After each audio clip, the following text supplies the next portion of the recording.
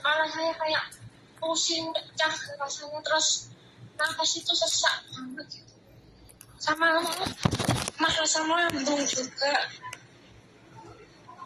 Tapi pihak rumah sakit nggak bilang sampean sakit sesuatu loh mbak.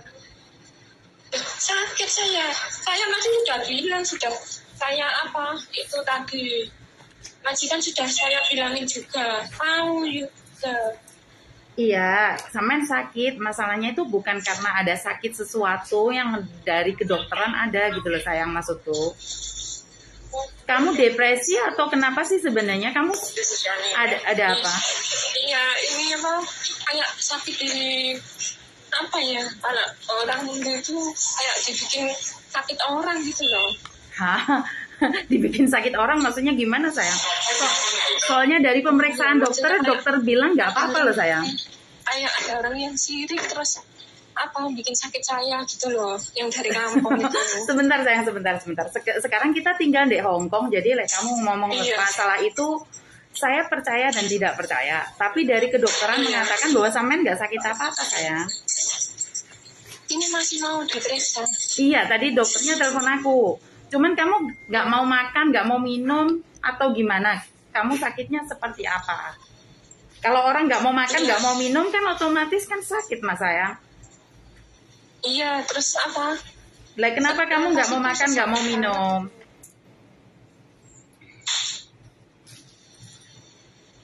Kok kamu bilang depresi juga? Berarti kan kamu ada masalah pribadi dong.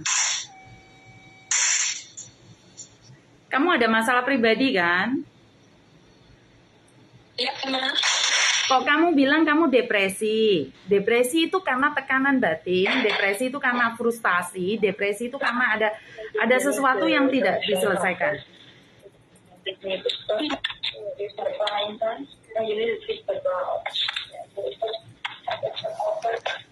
Kamu paham nggak dengan artinya depresi sayang? ya Kamu kamu paham nggak dengan artinya depresi?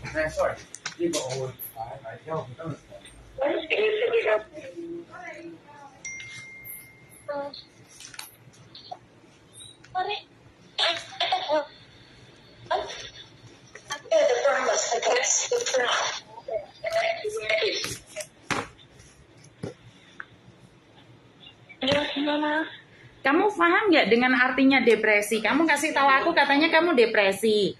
Kamu depresi tuh tahu nggak artinya sayang?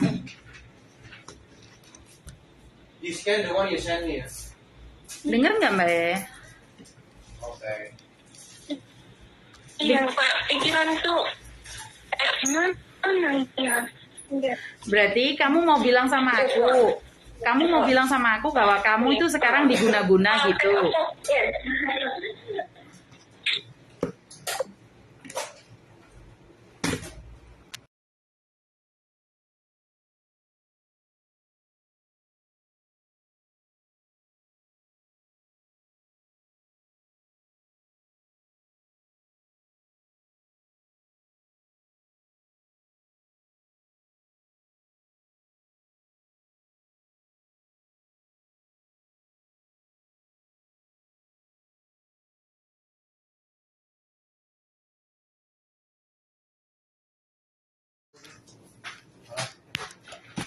Mbak, Mbak E mau bilang sama saya kalau mbaknya itu kena ilmu guna-guna gitu.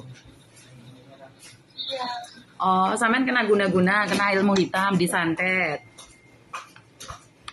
Ya gitu, tapi kan apa? Saya itu rasa badan saya kayak gimana gitu.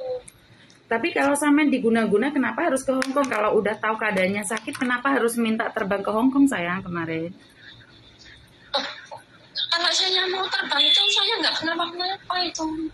Saya perasaannya pas di karantina itu. Saya kira cuma biasa, nggak saya rasa. Terus dari rumah majikan itu udah jatuh sakit saya.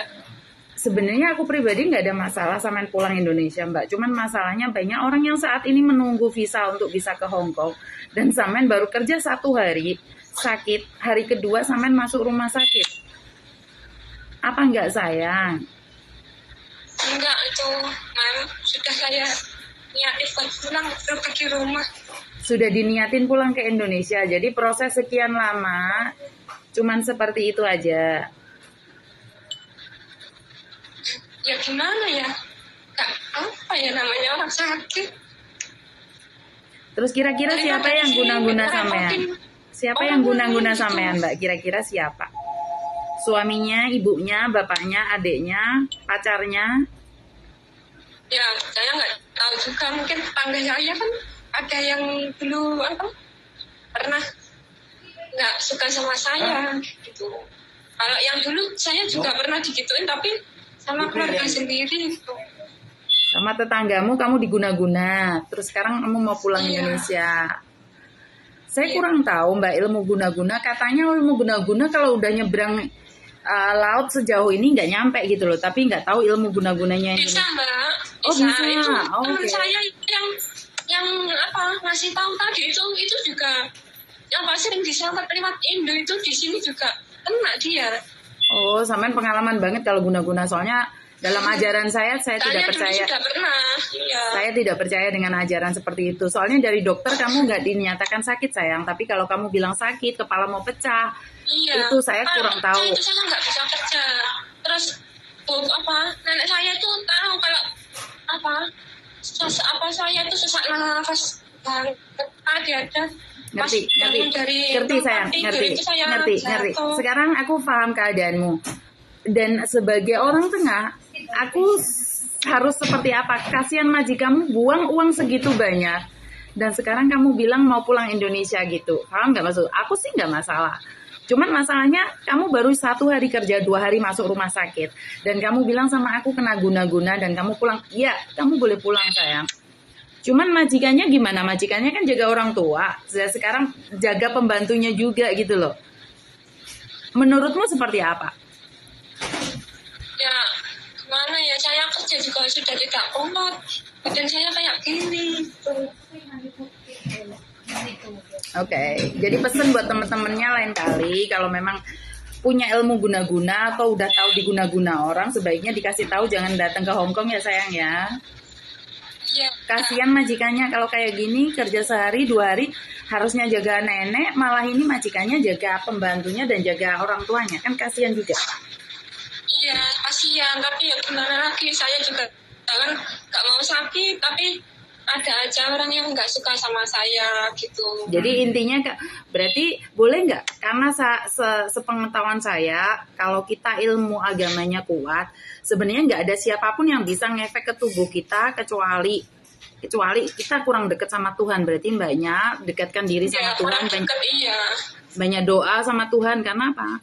Tidak ada kekuatan yang melebihi kekuatannya Tuhan. Berarti mbaknya kan kur- kurang deket sama Tuhan. Jadi mbaknya nyalakan orang lain. Kalau menurut saya, ilmu guna-guna itu tidak bisa masuk ke tubuh kita kalau kita punya kekuatan yang lebih. Sebenarnya ilmu guna-guna itu akan manjur pada kita. Sebenarnya apa yang kita dapatkan kita petik sendiri. Jadi saya Iya. kurang tahu mbaknya percaya atau tidak. Menurut saya ilmu guna-guna itu sebenarnya tidak bisa masuk ke tubuh kita kalau kita punya karma baik di tubuh kita. Tapi kalau karma buruknya banyak ya ya ini matangnya lebih awal. Iya Jadi lebih baik sekarang banyak doa sama Tuhan, posisimu di rumah sakit. Apakah kamu tapi pulang saya Indonesia? apa sudah berniatan untuk tidak kerja lagi di sini saya mau pulang gitu aja Ah, kalau masalah itu, mbaknya bisa komunikasi sama PT-mu ya. Soalnya saya P- ah, agent yang ada di Hong Kong. Dan mbaknya nggak komunikasi sama saya. Paham nggak maksudku mbak ya? Kamu gimana harus kamu harus komunikasi sama PT-mu sayang gimana baiknya. kemarin sudah bilang itu cuma teriak-teriak aja saya juga bingung Kemes, tidak eh, masalah tidak bisa selesai dengan teriakan dong. Coba kamu bicara baik-baik dan suruh orang tuamu, keluargamu untuk menghubungi PT juga. Gimana caranya? Dari pihakku di Hong Kong sini sebagai agent, aku tidak ada masalah. Kamu boleh pulang kapan pun kamu mau. Tapi karena kamu kan masih ada sangkutan dengan PT-mu, coba berbicara dengan PT-mu ya. oh iya soalnya ini baru pertama dalam pengalamanku kerja di agent. Satu hari masuk majikan langsung sakit dan dua hari masuk rumah sakit mbak E. Ya. Jadi saya masih belum ada pengalaman untuk ini. Saya sempat stres juga. Dan sekarang Samen kasih tahu aku bahwa mbaknya kena ilmu hitam, kena santet. Kalau jujur, berarti kan rumah sakit sekarang ngecek kamu kan nggak ada apa-apa sayang. Soalnya tadi dari pihak rumah sakit telepon aku bahwa kamu itu tidak ada apa-apa. Kalau sakit kepala wajar, kadang-kadang aku sendiri juga sakit kepala kalau pas nggak punya Enggak, uang. tapi eh, kayak nggak sakit kepala biasa gitu. Nah makanya kan dokter nggak bisa meriksa sayang kalau kamu bilang tentang ilmu guna-guna atau apa kan dokter nggak bisa ngelihat. Dokter bilang kamu nggak apa-apa terus kamu bilang kamu kamu kena guna-guna ya itu itu itu kepada